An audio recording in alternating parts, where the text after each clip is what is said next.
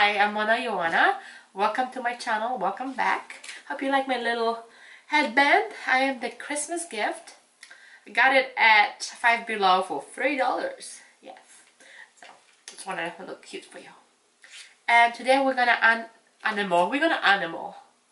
We're gonna be animals. Yes. No. we will, or I will, review this animals sheet mask. This is by Masque Bar and it is a reindeer calming sheet mask and it contains witch hazel, fruit extract and bee glue. Actually, my husband picked this up. I don't know which store, but I'm gonna have it linked below where you can buy it. He brought it to me and he said, hey, you need to review this on your channel. So thank you, honey. This is for you. My face is all clean. So I'm ready to start on this. Let me open it up. It's supposed to really hydrate you and calm skin with soothing properties. That feels really good. My skin is actually kind of drier right now. That's because I've been uh, pretty much in bed for the last two, three days. So I didn't put anything on it. My lips feel really dry too, but that's a different story. so soaked. I already know I'm gonna love it because I like moisture in my masks. It's so cute. Alright, I am ready. it is calm. Oh, it is so cool. Doesn't fit my face so well, this mask. It's like, it's my forehead is not long enough. But we're gonna try to make it work. I, I don't know who has eyes like this. Like this is a really huge opening. I should just move out the wrinkles if you purchase any of the sheet masks without ripping the mask. Sometimes stuff happen. I have my mask on. Hopefully I can breathe. She doesn't understand I'm recording. My dog. So it says 10 to 20 minutes. I'm gonna be back in between that time. We'll see how long I feel like wearing it since I feel like I can breathe very well. It may be 10 minutes, but I will see you in a bit.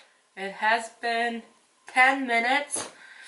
I'm more of a combination skin but it's hard for me to breathe or since I'm, you know, not feeling 100% myself.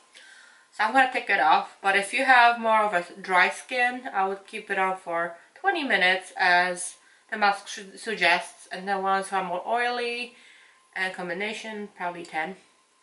So let's take it off. Ah.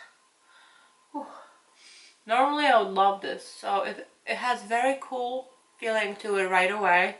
Maybe I'm more sensitive, but it feels like one of the coolest masks I tried. It is very moist, so I hope it absorbs quickly because I still have to do my makeup. I'm gonna put some in my neck. Never abandon the neck. I'm gonna put some on my lips. You know, what I like about this mask right away is that it's not oily or sticky like you know, hydrating mask would be. So I like that about it.